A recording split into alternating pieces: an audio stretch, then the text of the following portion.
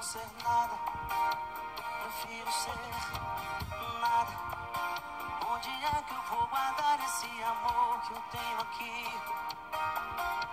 Me fala, como é que eu vou pegar na sua mão e não poder te levar pra casa? Ficar tão perto assim da sua boca e não poder beijá-la.